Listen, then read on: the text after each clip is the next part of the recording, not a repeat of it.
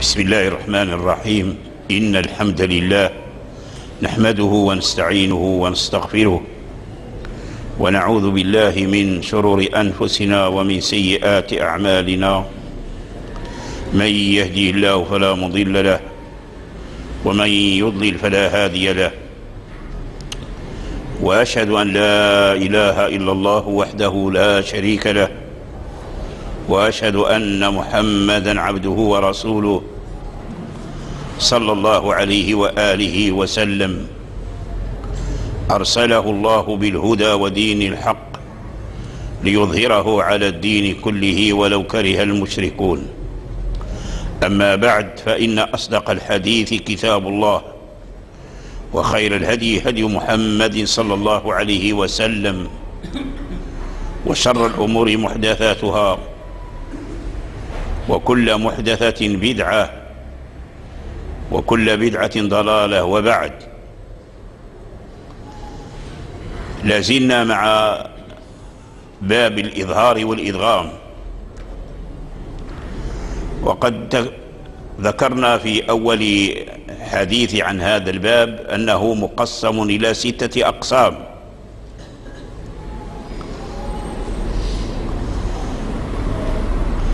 والإظهار والإدغام من أكثر الأمور التي وقعت في القرآن الكريم. لأن القرآن نزل بلغة العرب ولغة العرب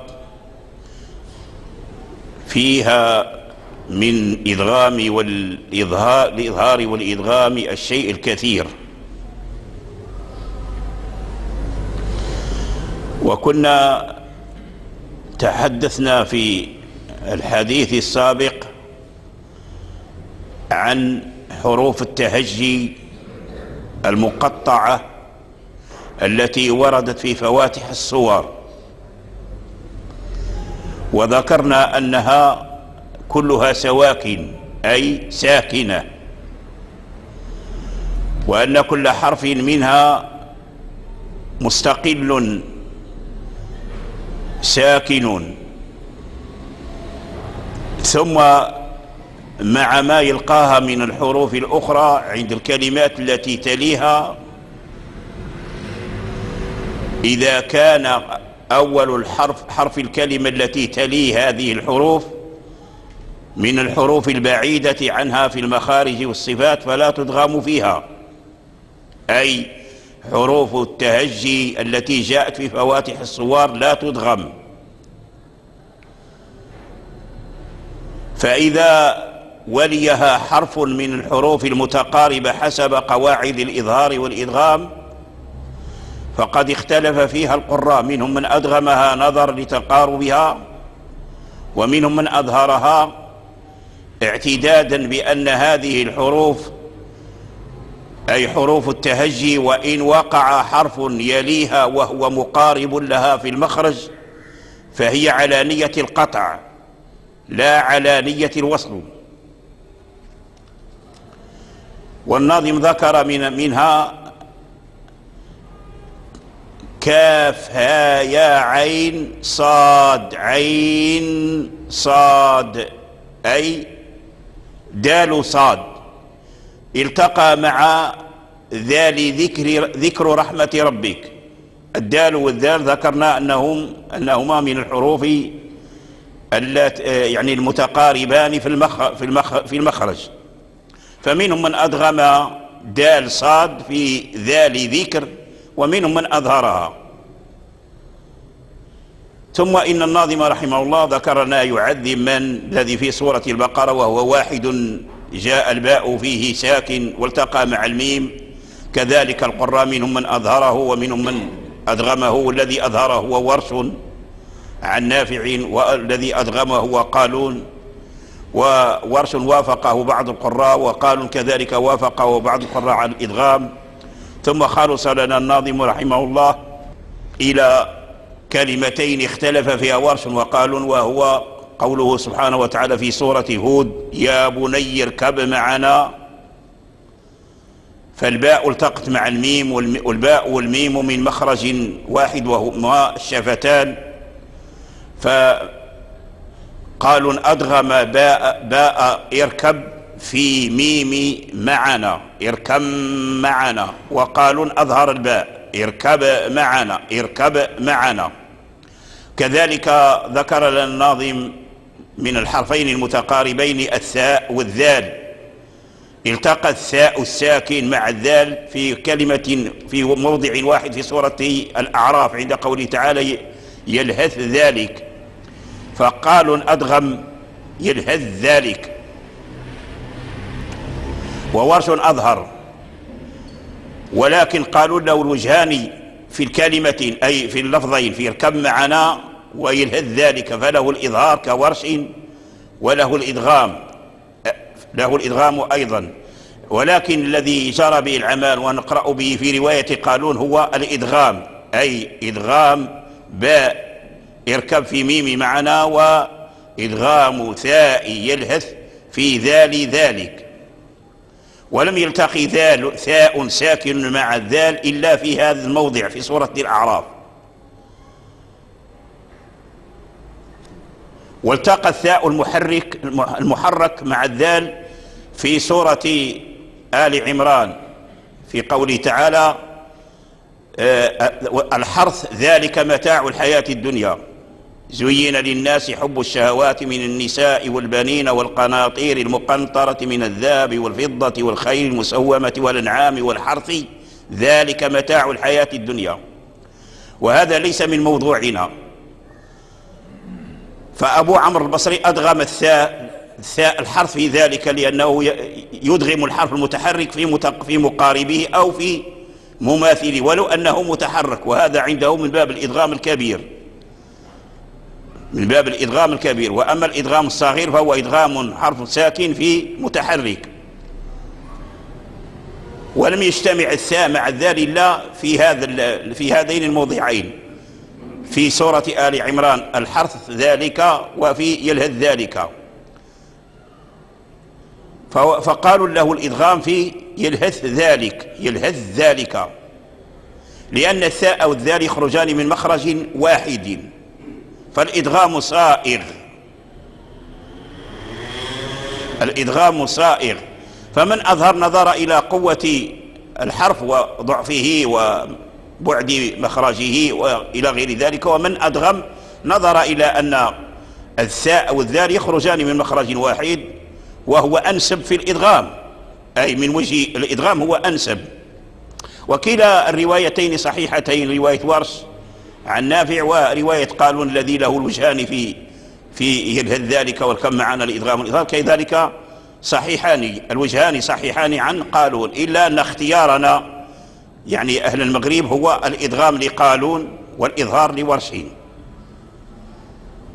ثم قال الناظم رحمه الله ودال صاد مريم لذكري وما يعذب من رووا للمصري وركب ويلهث والخلاف فيهما عن ابن مين والكثير أدغما وعنه نون نون مع يسينا أظهر وخلف ورشهم بنونا.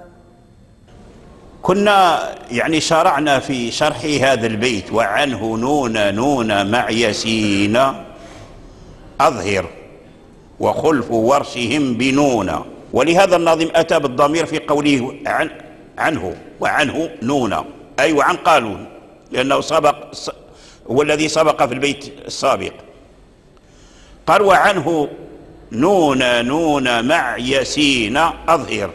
أي وأظهر قالون من جملة ما أظهر من حروف التهجي. نون نون. نون نون. أي من حروف التهجي التي وقعت في فواتح الصور في سورة نون في قوله تعالى بسم الله الرحمن الرحيم. نون. فتكتب في المصحف نون ولكن يلفظ بها لا يلفظ بها نو بل يلفظ بها نون.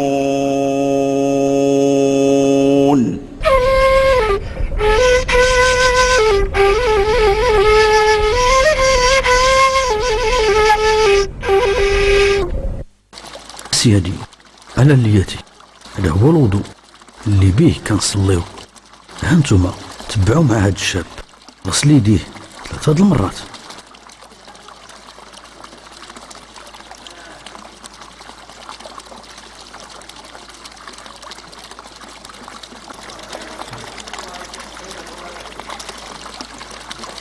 ثم غسل فمه ثلاثة المرات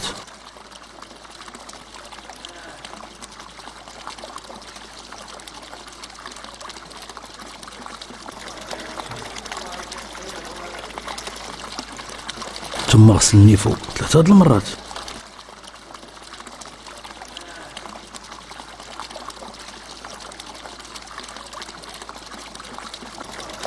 ثم غسل وجهه ثلاثة المرات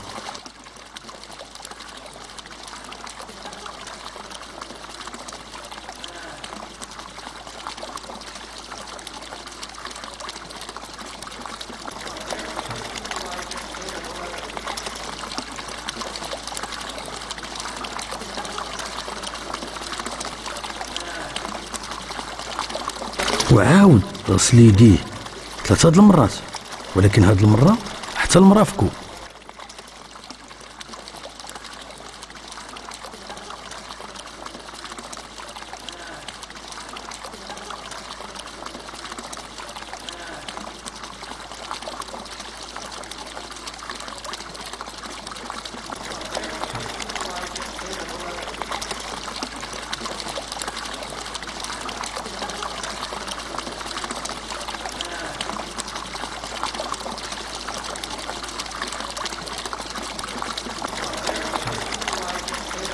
ثم مسح راسو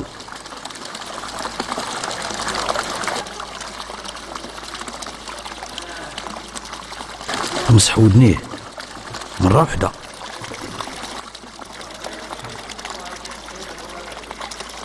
في الآخر غسل رجليه ثلاثة المرات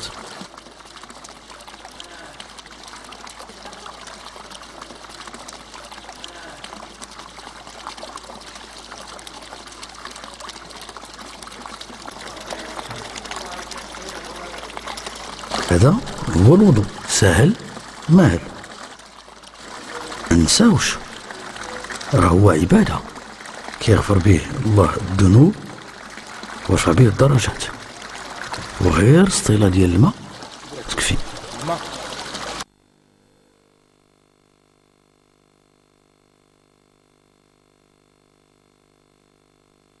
الله أكبر. الله أكبر.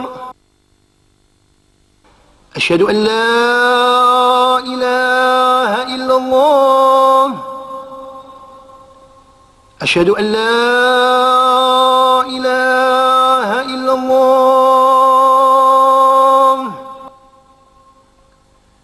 أشهد أن محمد رسول الله.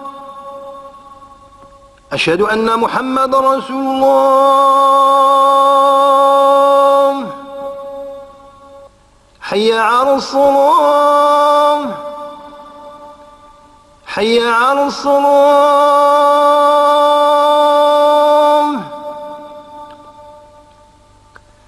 حي على الفلاح. حي على الفلاح. الله أكبر. الله أكبر. لا إله إلا الله.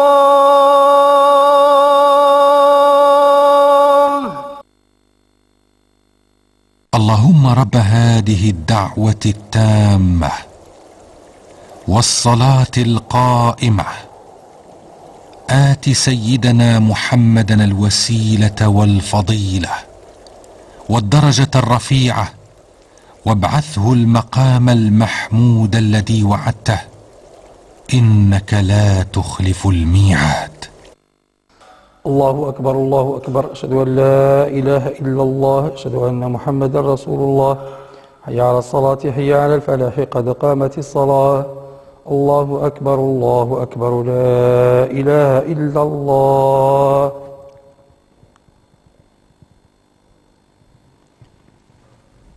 الله أكبر. الحمد لله رب العالمين. الرحمن الرحيم. ملك يوم الدين. إياك نعبد وإياك نستعين. اهدنا الصراط المستقيم. صراط الذين أنعمت عليهم غير المغضوب عليهم ولا الضالين. والعصر إن الإنسان لفي خسر إلا الذين آمنوا وعملوا الصالحات.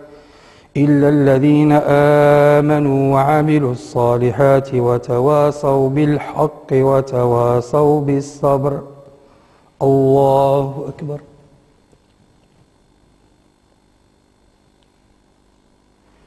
سمع الله لمن حمده الله أكبر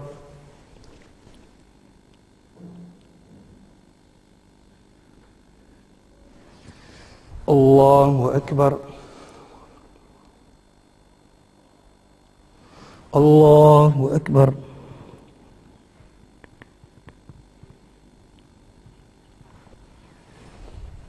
الله أكبر. الحمد لله رب العالمين. الرحمن الرحيم. ملك يوم الدين. إياك نعبد وإياك نستعين. اهدنا الصراط المستقيم. صراط الذين أنعمت عليهم غير المغضوب عليهم ولا الضالين.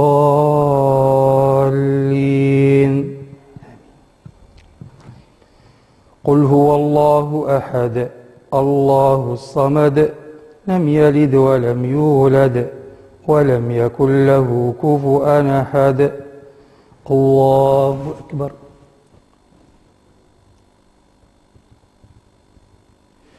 سمع الله لمن حمده.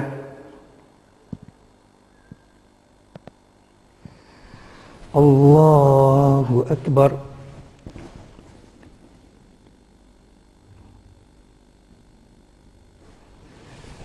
الله أكبر. الله أكبر.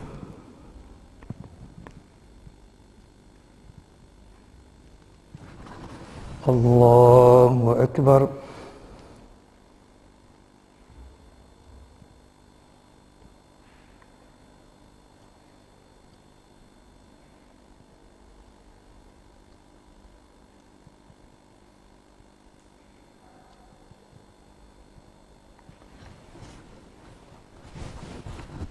الله أكبر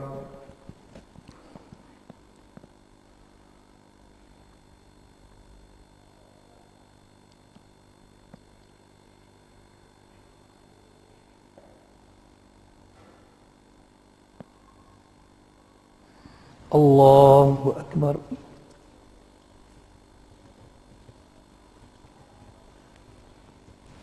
سمع الله لمن حمده.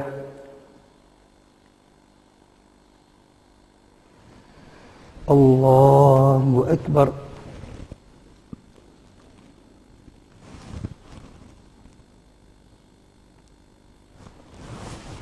الله أكبر.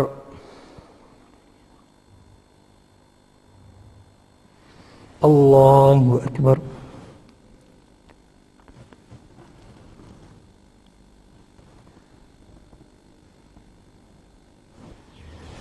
الله أكبر.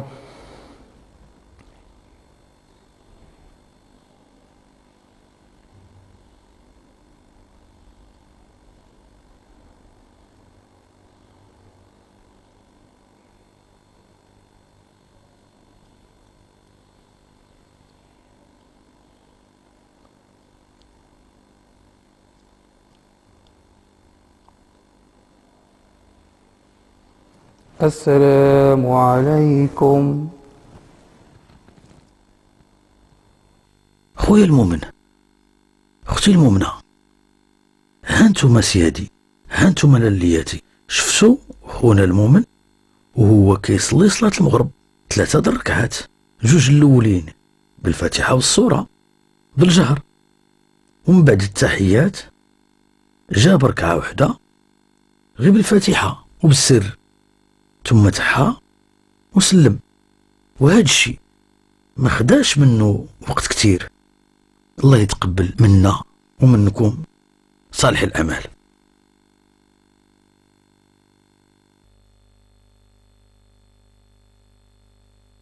أي وأظهر قالون من جملة ما أظهر من حروف التهجي نون نون. نون نون. أي من حروف التهجي التي وقعت في فواتح السور في سورة نون في قوله تعالى بسم الله الرحمن الرحيم نون. فتكتب في المصحف نون ولكن يلفظ بها لا يلفظ بها نو بل يلفظ بها نون. أي بنون وواو ونون ساكنة. بنون وواو ونون ساكنة. في الخط يكتب نون هكذا. لكن في في النطق في اللفظ يلفظ بثلاثة أحرف. أي الكلمة مركبة في اللفظ من ثلاثة أحرف. الحرف الواسط الوسط ساكن من حروف المد فهو من باب مد اللازم أي المد المتمكن المشبع.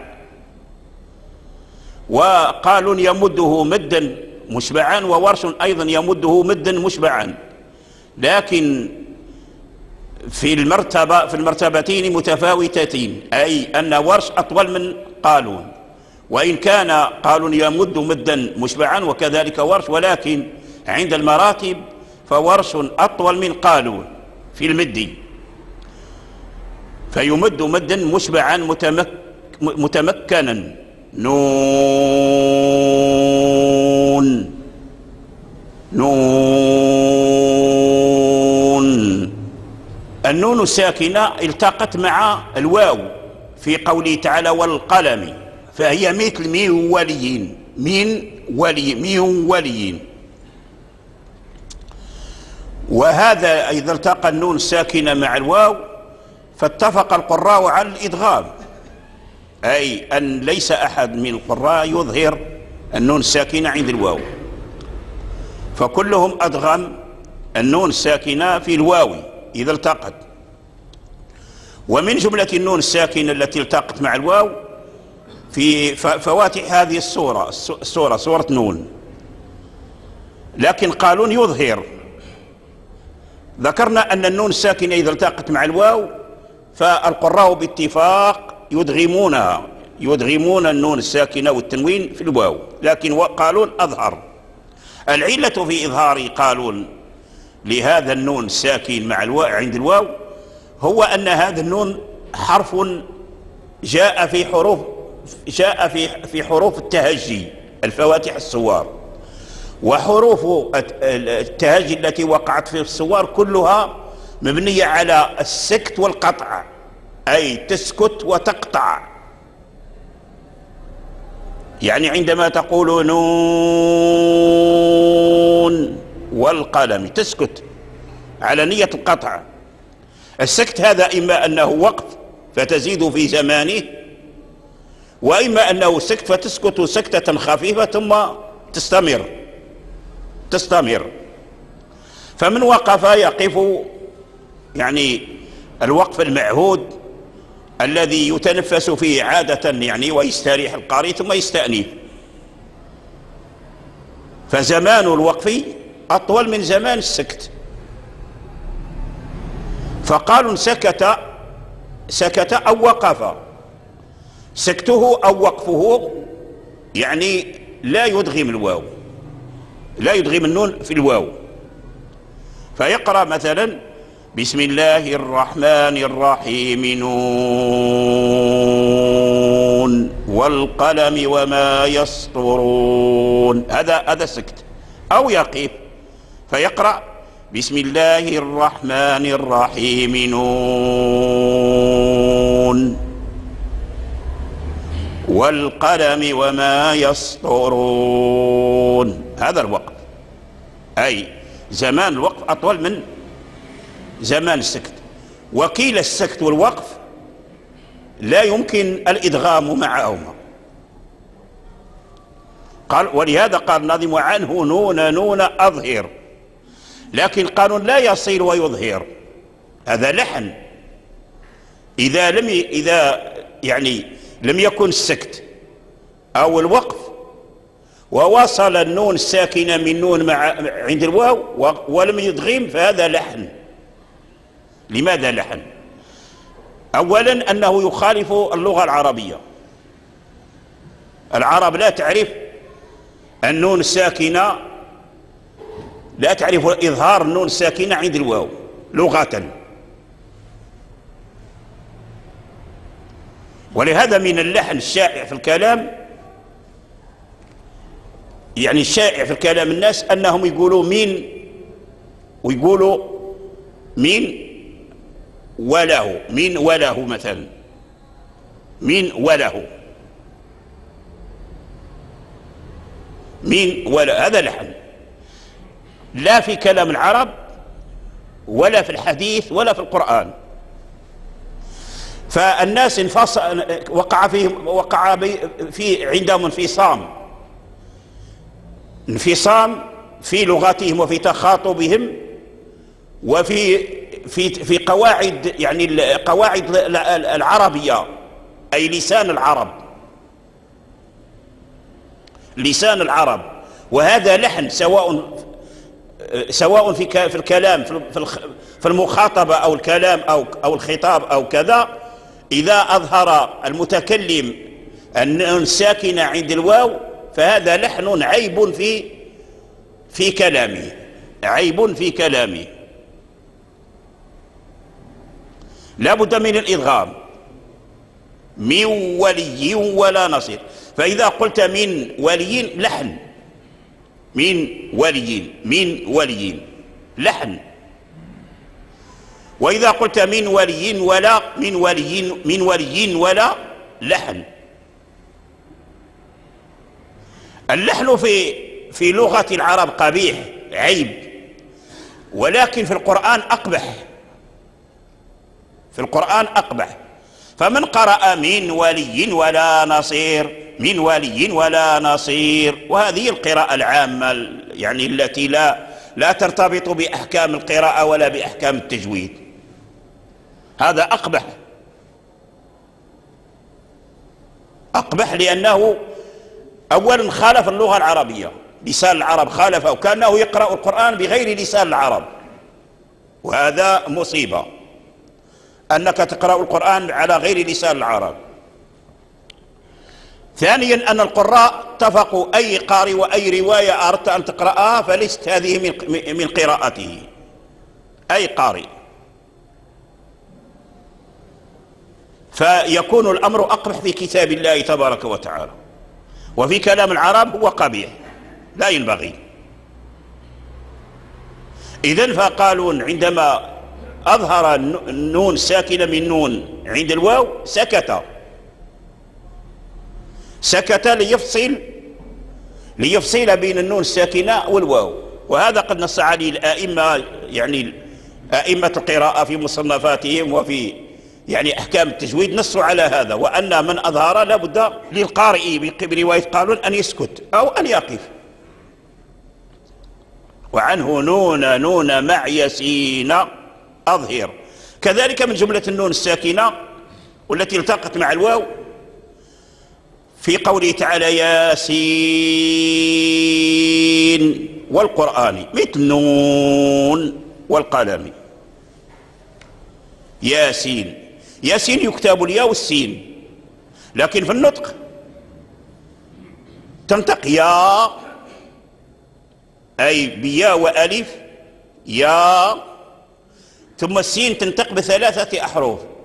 سين. بالسين والياء والنون. والياء حرف مدين التقت مع النون الساكنة فهي من باب المد اللازم فمن قرأ بسم الله الرحمن الرحيم ياسين هذا لحن وهو حرام. بسم الله الرحمن الرحيم ياسين لحن المد المتصل المنفصل قرأه مدا بالمد الطبيعي وليس أحد من القراء أنه مد المد اللازم مدا طبيعيا أبدا في مذاهب القراء كلهم. إذن هذه القراءة التي يقرأ بها الناس غريبة غريبة عن اللسان اللسان العربي وغريبة حتى على على أحكام القراءة. فلهذا على حفظة القرآن أن يتعلموا أن يتعلموا. فيعني هذا المد هذا ناقص يعني نقص من المد الذي لا تجوز به القراءة أبدا. لا تجوز به القراءة أبدا. والحاصل أن ياسين فيه نون التقى مع واو القرآن الحكيم. كذلك قارون أظهر هذا النون من ياسين عند الواو من قوله تعالى والقرآن الحكيم. إذن قارون أظهر النون الساكنة من نون عند الواو في قول والقلم وكذلك أظهر نون ياسين نون ساكنة عند واو والقرآن الحكيم. هذا معنى قول الناظم عنه نون نون مع ياسين أظهر. أي أظهر أيها القارئ لقالون. قال وخلف ورشهم بنون وخلف ورشهم بنون. أما ورش فهو قد أدغم نون ياسين في واو والقرآن بلا خلاف. ورش أدغم نون ياسين في واو والقرآن بلا خلاف.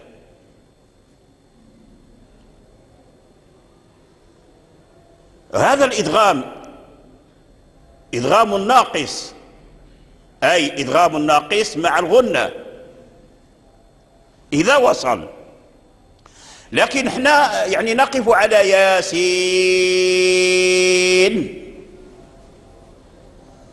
فإذا سألت يعني أحد الناس لا يعرف. إذا وصل ولم يقف لا يعرف كيف كيف يصل؟ لا يعرف. لأن غياب العلم غياب العلم يجعل الإنسان لا يعرف. فهو إذا وقف يقف هكذا. بسم الله الرحمن الرحيم ياسين. لكن كيف يصيل لا يعرف. ولا ربما قال ياسين والقرآن الحكيم وهذا لحن أيضا. إذن فورش. إذا يعني وصل النون ياسين مع الواو إدغام. كيف؟ يقول بسم الله الرحمن الرحيم ياسين والقرآن الحكيم. يلا البدوي قرأنا هذه الكلمة بالإدغام.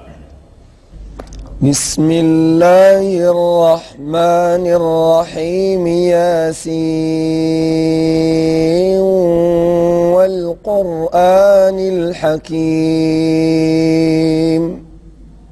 هكذا إذا وصل ورش يعني أول ياسين مع يعني مع واو القرآن فله الإدغام الناقص إدغام الناقص مع الغنة. مع المد الطويل. أعيد. بسم الله الرحمن الرحيم ياسين والقرآن الحكيم. فهذا الوصل لا يعرفه كثير من الناس. كثير من من من حافظ القرآن لا يعرف هذا. لا يعرف. السبب كما ذكرنا غياب العلم. وأن القرآن يحتاج إلى علم. لا ينبغي للإنسان أن يقرأ القرآن مثل الأمي لا. لا بد من العلم. لتعرف كيف تصيل كيف تقف. كيف يعني أمور كثيرة. فغياب العلم يجعل الإنسان يسير في الظلمات.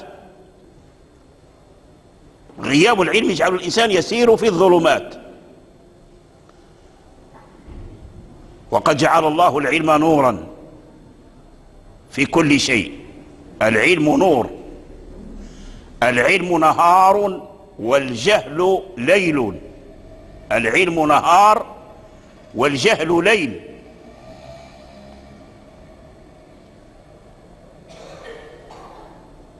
كذلك بالنسبة لنون والقلم ورش كذلك له الوجهان.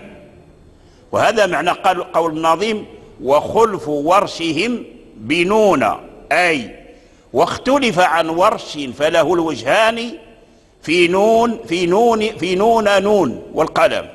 له الوجهان. معنى له الوجهان. أي له الإظهار وله الإدغام. في ياسين قول واحد وله وأنه له الإدغام في ياسين والقرآن. في نون والقلم له وجهان. الإظهار والإدغام. لورش إذن الأمر من ثلاث من ثلاثة. قالوا له الإظهار فيهما. أي في نون والقلم وياسين والقرآن. ورش له وجه واحد له وجه واحد في ياسين والقرآن. أي الإدغام فقط. له في نون والقلم وجهان. الإظهار والإدغام. فنقرأ مثلا لورش في نون بالإظهار. فإذا أظهرنا لابد من السكت. فنقرأ بسم الله الرحمن الرحيم. نون. والقلم وما يسطرون. هذا وجه الإظهار. وأيضا نقرأ له بوجه الإدغام.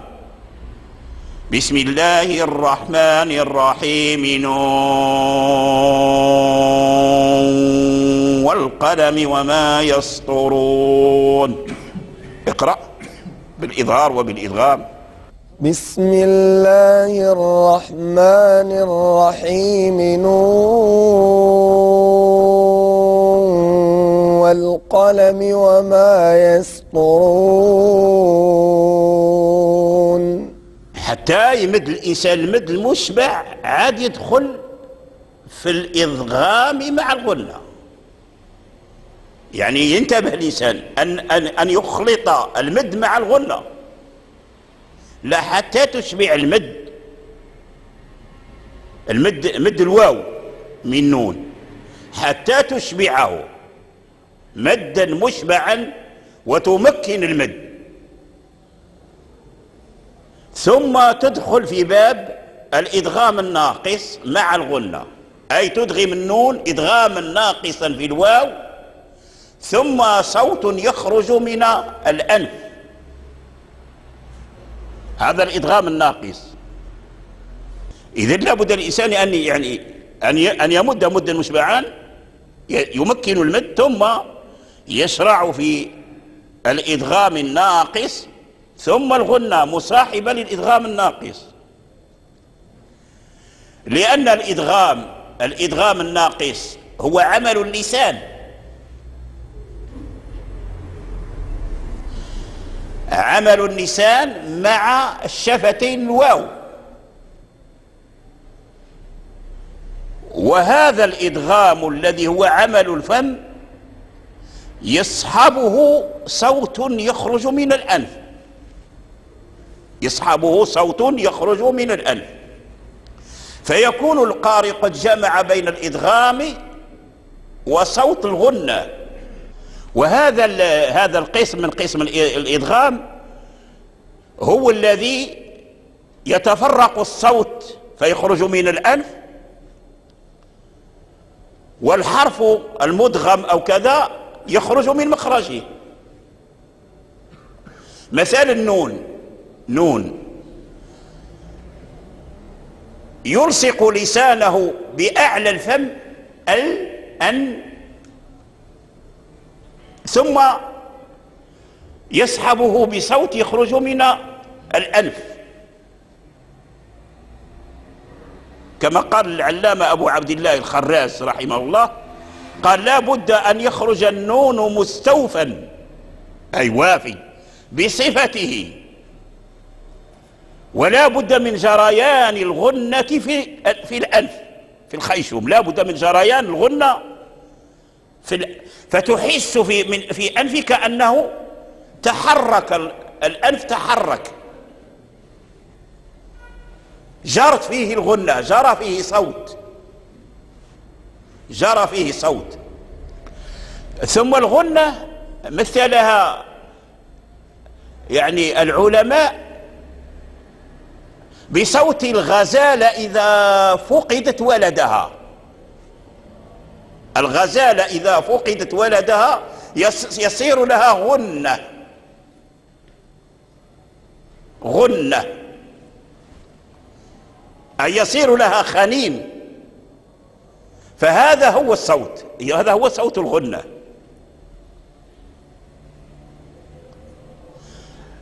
صوت الغنة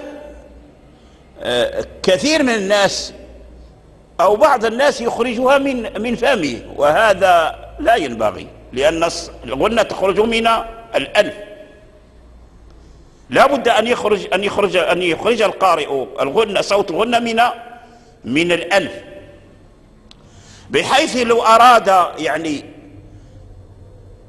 لو أراد أن يجرب وهي هي هي تخرج من الأنف أو لا تخرج عند عند عند صوت الغنة يسد أنفه.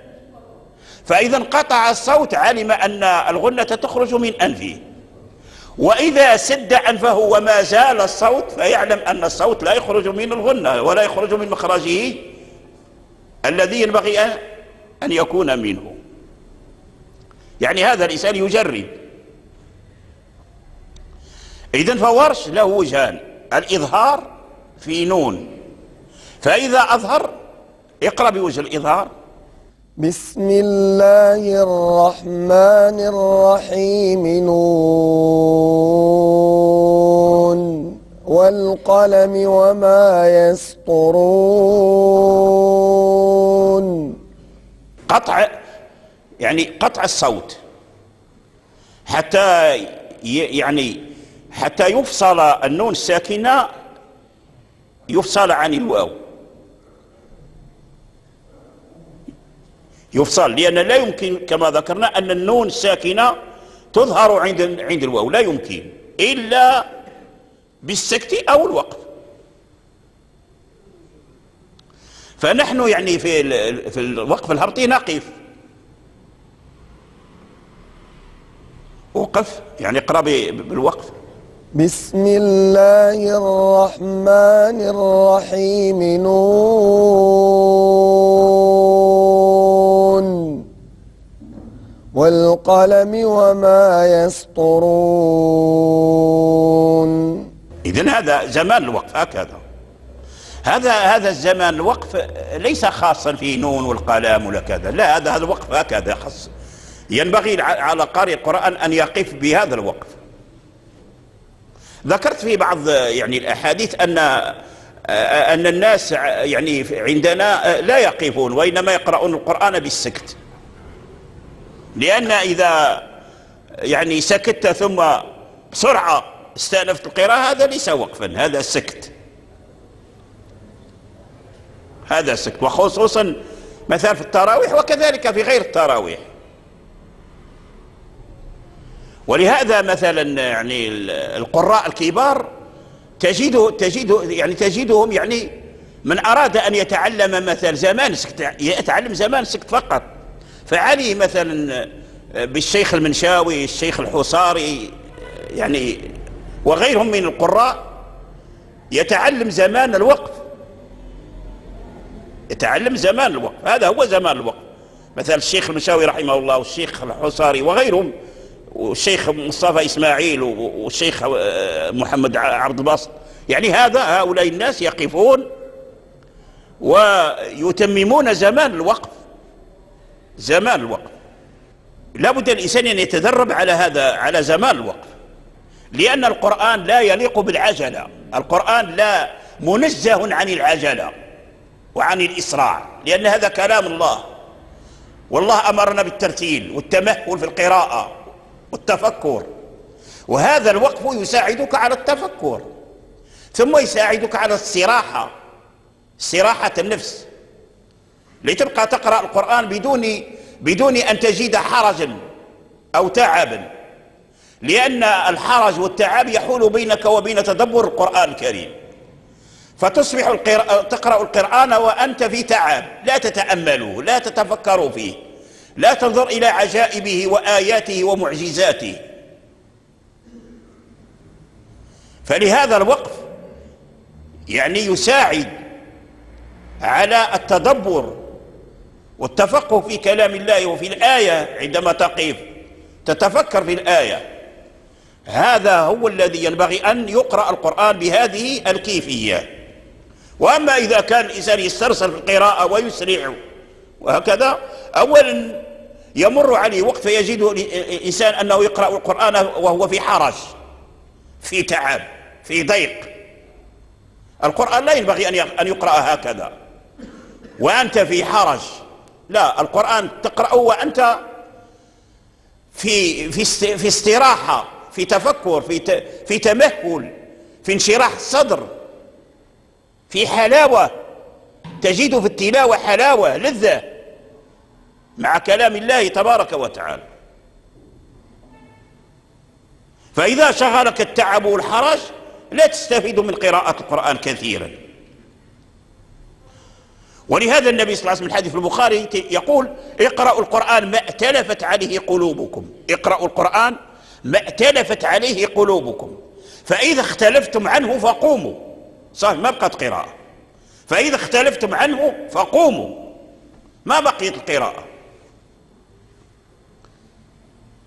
اقرأوا القرآن ما ائتلفت عليه قلوب أي ما اجتمعت عليه قلوبكم. عقولكم قلوبكم قلبكم اجتمع على كتاب الله في التأمل في التفكر في تحقيق الكلمات في تفكيك الحروف في المحافظة على صفات الحروف مخارج الحروف أحكام القراءة أحكام التجويد والتدبر والتفهم.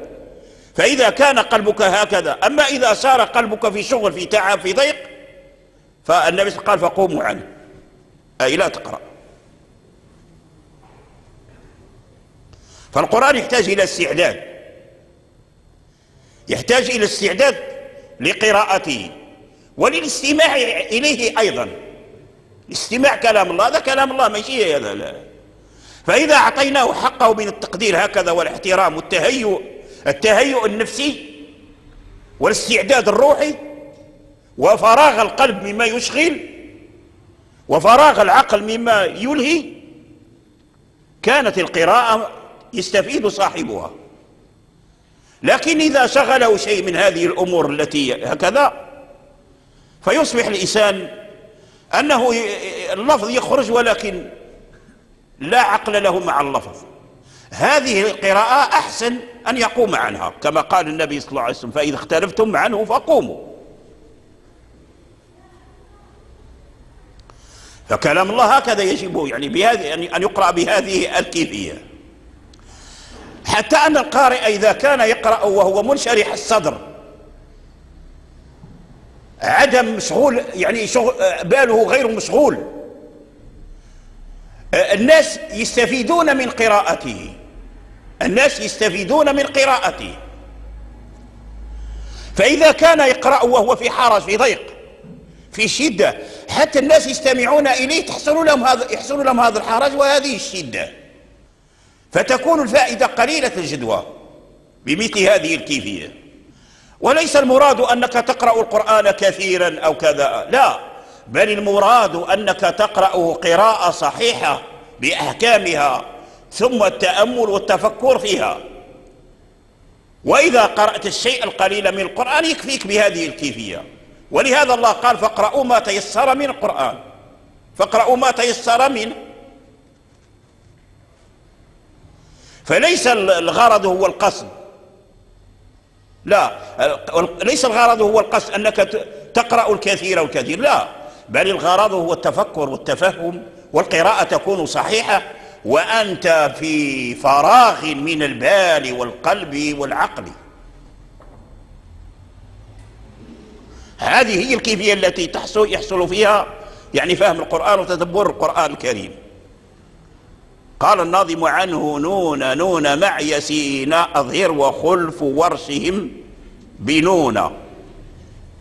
وعنه نون نون مع يسينا أظهر وخلف ورشهم بنونا ذكر ادغام النون والتنوين والقلب والإخفاء والتبيين.